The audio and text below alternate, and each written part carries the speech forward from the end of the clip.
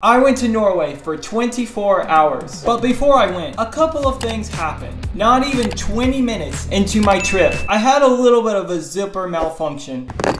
My zipper never ended up fully working again, so I walked around with a malfunctioned zipper the rest of the trip. But I had a 10 hour layover in New York City, so of course I had to explore the city. And then I took a red eye flight to Norway.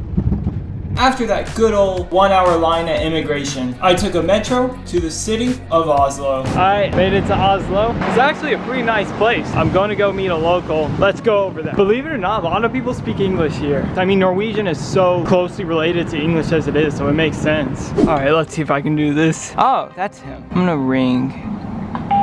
Oh, shoot. Bro, ain't no way.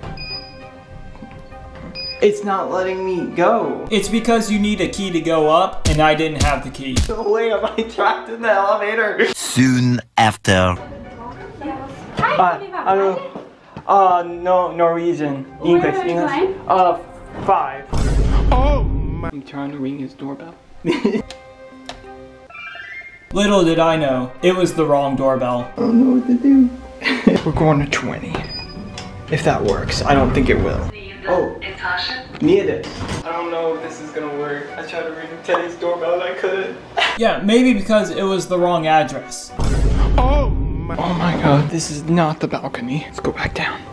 He didn't give me his unit number. He actually did give me his unit number. I just didn't realize it. You know what? I quit trying. I'm going back down. I'm gonna go find Wi-Fi outside.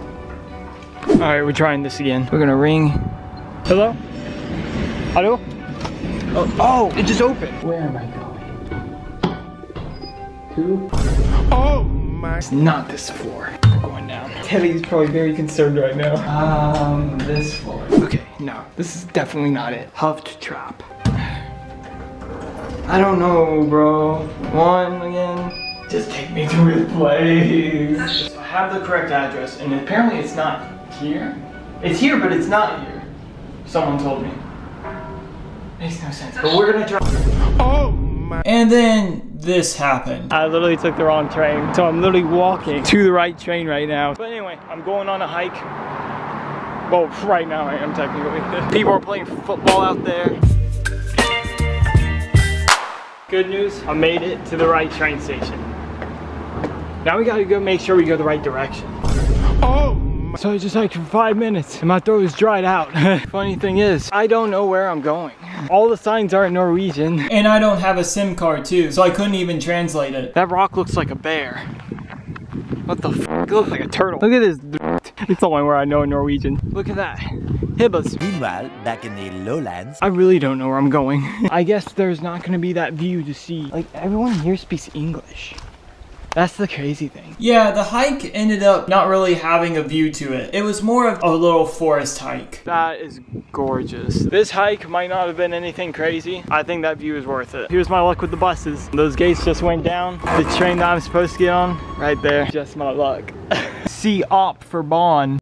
C op for bomb. Once I was finally able to get on the train again, something really unexpected happened.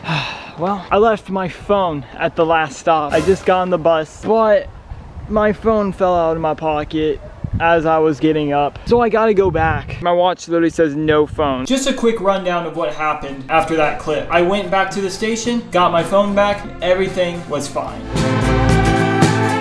My eyes, I look like I'm hypnotized. But the next day came around and I took the train to the airport. And then I flew to Turkey.